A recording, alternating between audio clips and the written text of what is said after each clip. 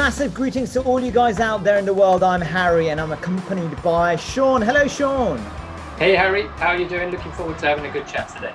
Cheers, man. Now, look at this to start off with. The wizard Iniesta at work with this beauty. What do you make of this, Sean? Uh, yeah, it's a goal that fans all around the world have seen from him many times in his days in Barcelona, and as you can see, he's still doing it now in the J League. Yes, how amazing. Now, more to come later, but let's get this going then. This is J League Monthly kicking off.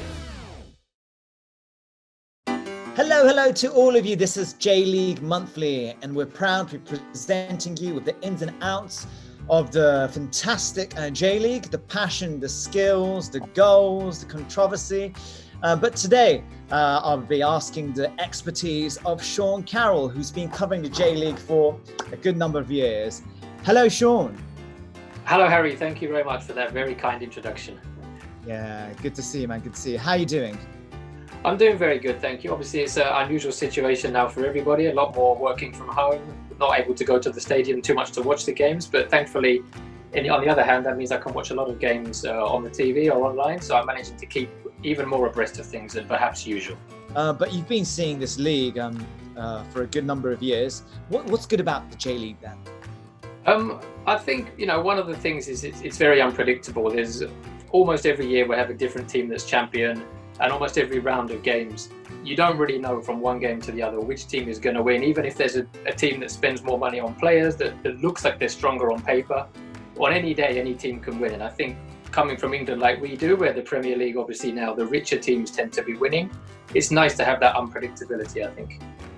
Another thing about the J League too is that there's this kind of family atmosphere. I mean, uh, me and you, we come from England. We love the Premiership too, but you know, um, you don't usually get uh, friendly grannies and granddads with their uh, little ones, right? So that's another element of the J League, which is you know warm in a sense. Yeah, I think there is that. You know, you get the the atmosphere in, in English stadiums is certainly maybe a bit more. Maybe it seems aggressive. I don't think it is as, as dangerous now as it maybe was a few decades ago, but it's it's much more kind of charged and aggressive in that way. Whereas the J League, as you mentioned, you get whole families there. It's kind of like a, a festival. It's a day out. Everyone can have fun.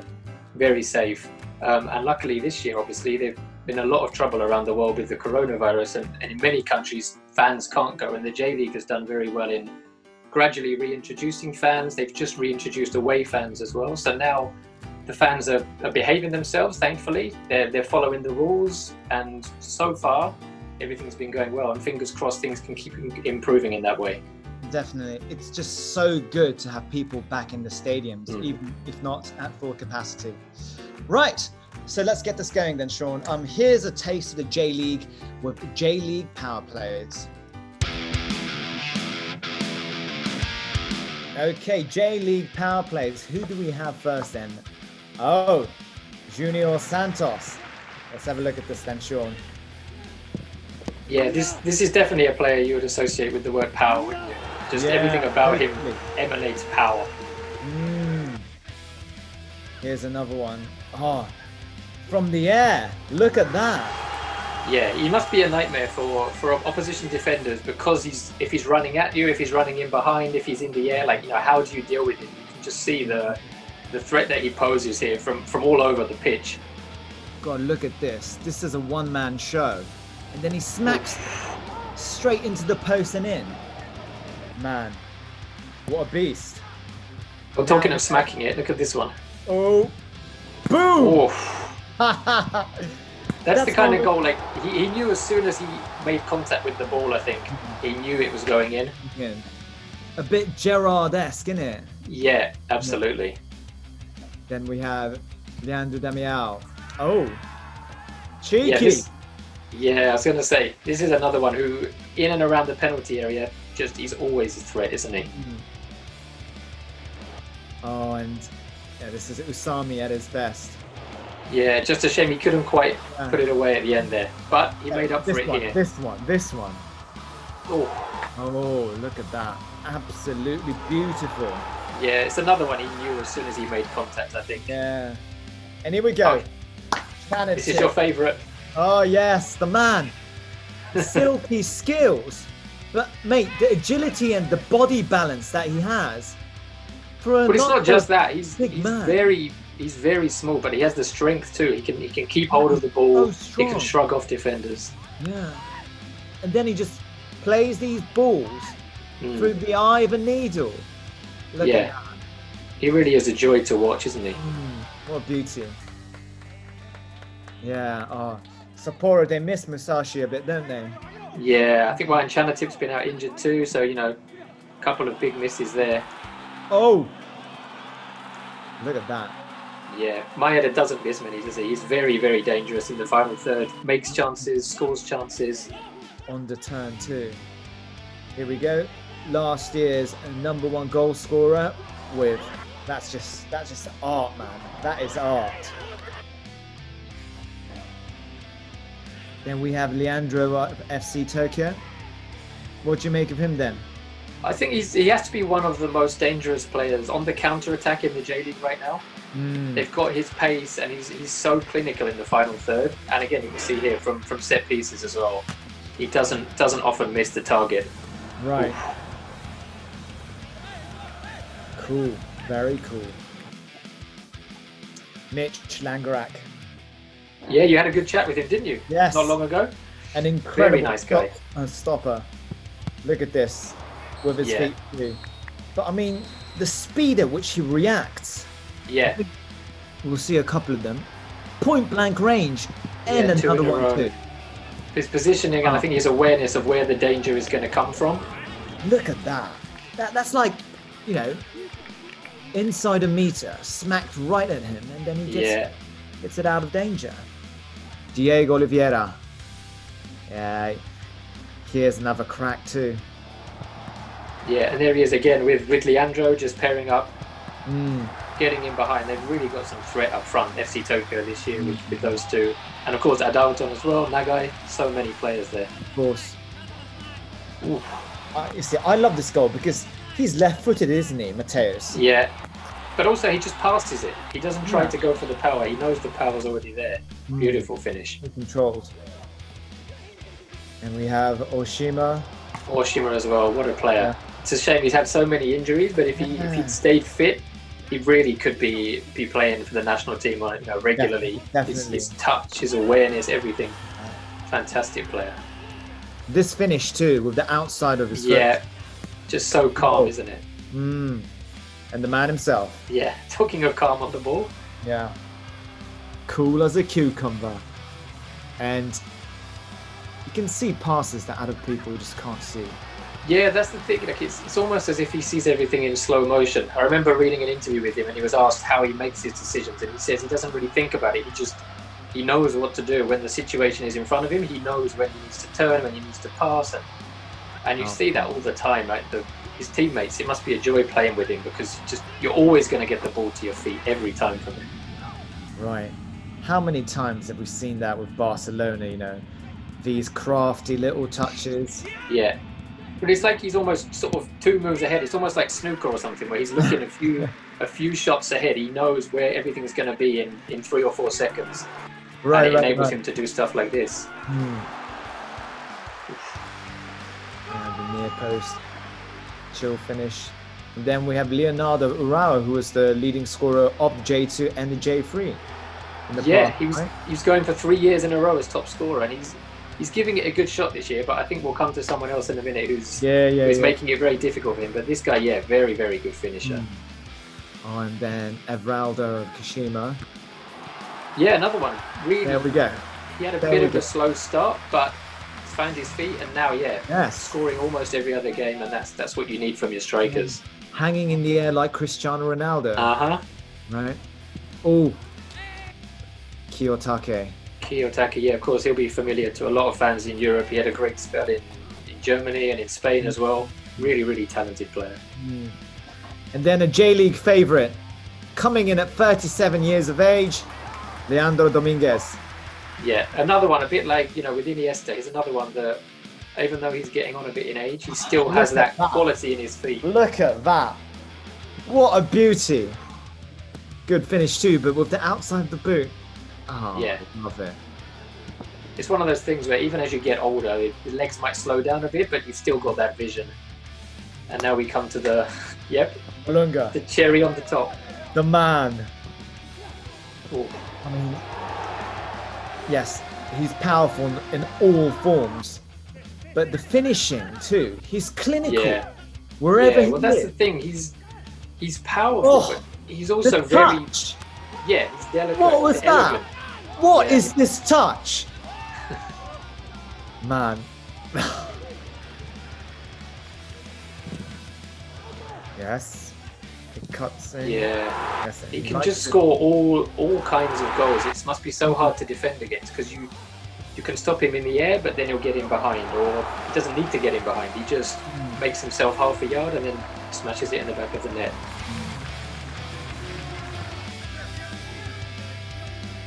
Yes, fantastic goals and plays that we just saw. Sean, um, Olunga, I mean, he is the man right now. We do have a jewel on our hands with his goal scoring, but also his intelligence too. What do you make of Olunga then?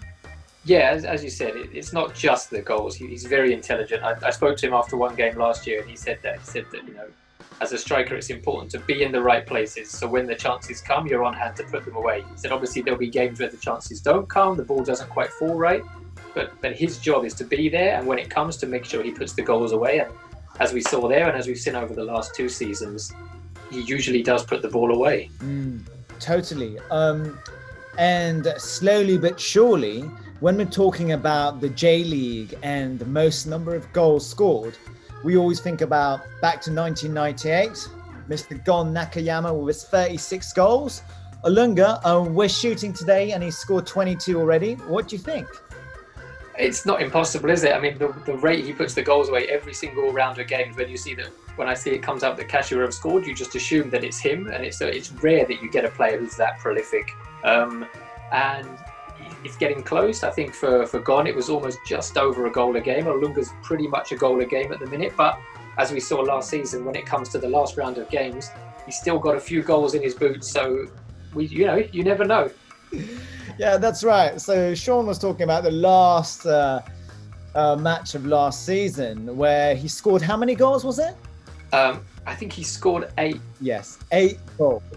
No, absolutely, eight goals indeed. And um, we've actually got a video with him in the eight goals. Um, uh, it's an official um, video, and he scored eight goals. And It's it's not a lie. It's it's for real, and uh, it's buzzing right now. Maybe we can have a look. Thankfully, we can actually see the eight goals provided by the J League's uh, YouTube.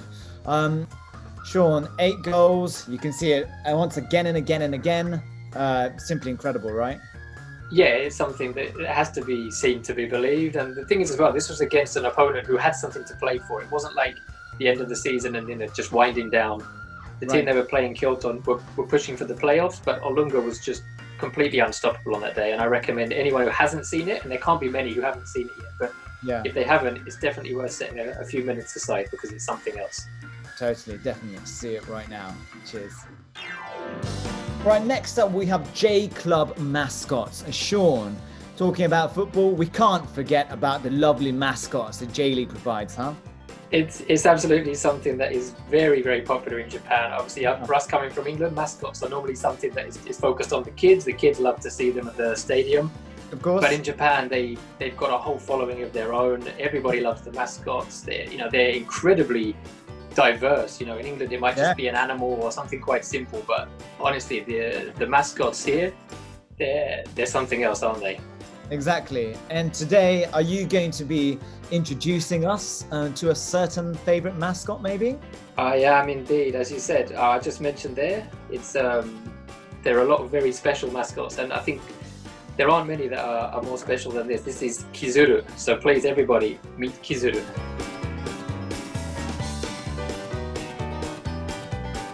All right. So, oh my God. There he is. Mate, I did not expect that. No, well, as I said, yeah, it's something else, isn't it? They they put a lot of effort in. Obviously, I think I think many people around the world will be familiar with like the folding Oh. crane, the origami. And the supporters too. Look at them. You're Yeah. Wow. Incredibly popular. I think in some cases, you know, the mascots almost rival the clubs for for popularity. They need to be a bit careful. and uh-huh. make sure the mascots don't get more popular. Right. Look at it. Look at his stats, man. He's ageless, right? He's yeah, um a bit like Kazu. Oh yes, yes, a bit like Kazu. Yeah, he's coming in at 26 kilograms for Which somebody very light for, for two meters tall. that is very... and uh, his personality, mate. He he's he's very resilient. Yeah, it says he's very resilient, which is very useful, you know. And what else? He says, yeah, good at football, which is is useful. And his dream, apparently, his dream is he wants to fly, which I think a lot of us can relate to. Uh, totally. Which position? uh, which position do you think he plays? Or oh, where would you put him? Um, he's got to be one end of the pitch or the other. He's either got to be a centre forward, putting the goals away, or he's the centre back, marking the the other team striker out of the game. Yeah. I think he has to be somewhere important. I think he's a bit of a poacher, man. Right. Yeah, proper kind of uh, Gon Nakayama or Inzaghi style, you know, right in front of the goal, mate. Yeah. Right. Yeah. Lethal. Lethal. Lethal. Totally lethal. Man, um, my favorite, or one of my favorites is, um, do you know uh, Blaugon of Akita? He, he's the dragon, right?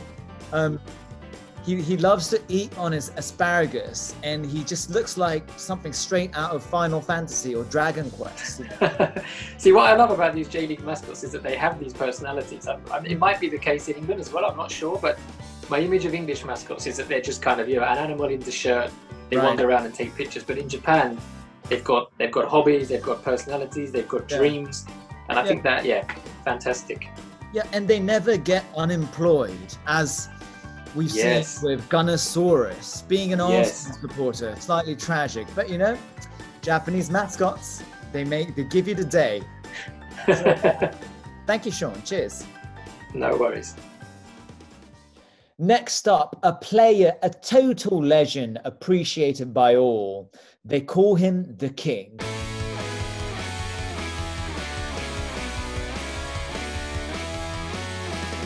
Everyone calls him the King. The king is Kazuyoshi Miura, 53 years old, battling in Japan's top league. The man is a total legend. So everyone was excited when Yokohama FC was promoted because it meant that the king was coming back to the J1 League for the first time in 13 years. And last month, he played in a J1 game, the last one being 4,860 days ago, obviously making another incredible record. But let's spin back to the year of 1993 with the skills cultivated in Brazil. King Kazu was a heartthrob. He lit the J League on fire with his skills and became the first MVP.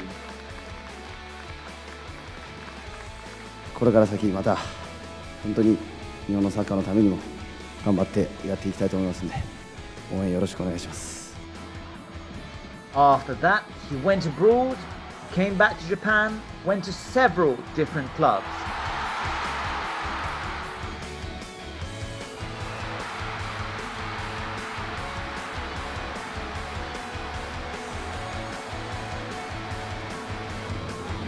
In 2017, he scored a goal aged 15 and 14 days. This went straight into the Guinness Book of Records, and look at him go, the famous Kazu dance, the oldest football player to score in the professional league.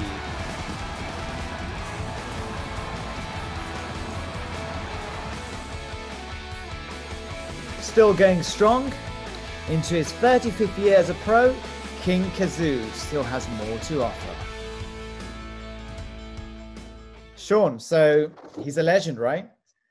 Yeah, absolutely. There's there's no other word for it. I mean, he's difficult for people from other countries to maybe understand how someone can still be going at that age, but he has this this aura here. It's, it's kind of like Maradona, maybe in Argentina or something. He's he's more than a footballer, and I mean, I've spoken to to teammates of his, and often, you know, someone who's been in football as long as that, you often expect that sometimes off the record or behind the scenes, people might have little gripes, things to complain about.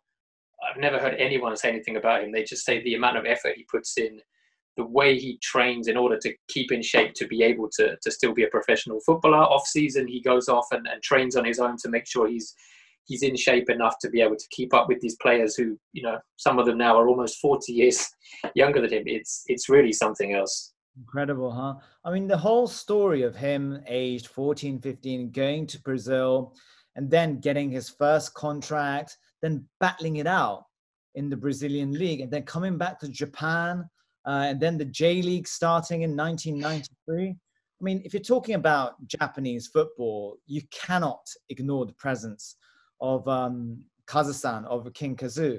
And uh, on a global sport kind of scale, when you say the king, you probably think about the NBA, LeBron James, and then Michael Jordan.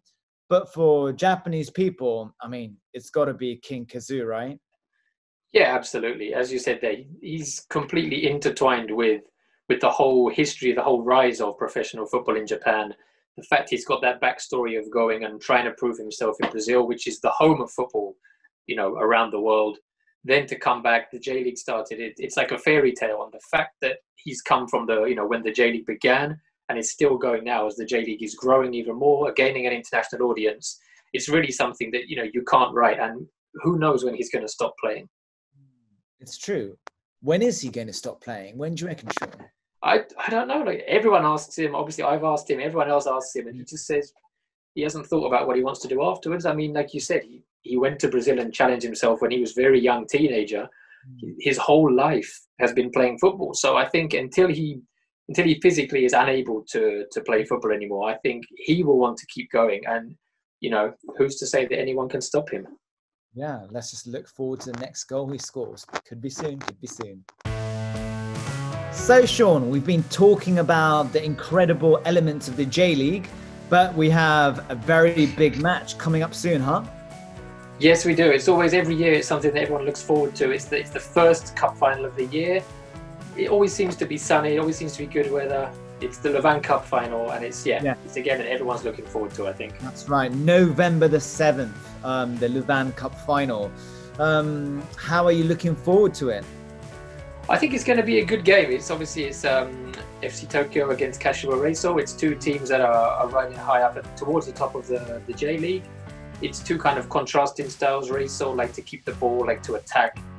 FC Tokyo is so dangerous on the counter attack. Um, their manager Kenta Hasegawa, this will be his eighth time in the final, including his time as a player and as a coach. Um, but he's only won it twice so far. So he's got that omen that he's, he's been there a lot, but he's only won it twice. So he'll be wanting to add to that. And then on the flip side, Nelsinho, Kashiwa Reysol's manager, he's won every title in Japan very, very experienced coach. Kashiwa Reysol obviously have got the likes of Olunga, who we've touched upon earlier. It should be a great game, I think. Yeah, but everyone's uh, looking forward to this game. Um, I think it's going to be the first cup final since the coronavirus um, has attacked um, the whole world. Um, and good news, uh, people all over the world can actually see it uh, live um, on the J League's uh, YouTube. Um, so I would like everyone to check it out. Um, and not just the Levain Cup too, actually. Um, each round, uh, one game will be broadcasted um, in English and in a couple of other languages uh, live on the J League YouTube um, channel. So it'll be fantastic for you guys to join in then. So, Sean, thank you so much for joining me today. How was how was it? It was fantastic. I was going to say thank you very much for inviting me. It's always a pleasure to chat to you about the J League. We could go on a lot longer, but unfortunately, we always have a director there telling us to wrap things up. yeah, it's it's always a pleasure. Hopefully, we can do it again sometime soon. Yeah, man, and it'll be just fantastic to be able to see you, hopefully at the stadium. You know. Yes, that's the thing, isn't it? Like we're mentioning now, the games are going to be shown on YouTube, and it's fantastic now that these days fans all around the world can enjoy the the games wherever they are at any time but yeah, there's, there's nothing quite like being at the stadium. So fingers crossed, everybody yeah. around the world can get back there soon and we can get back to enjoying football. Yes, fingers crossed. I'm um, Sean. Thank you so much, and I'll see you soon. And we'll see um, everyone next month then. Cheers and bye bye. Thank you very much. See you.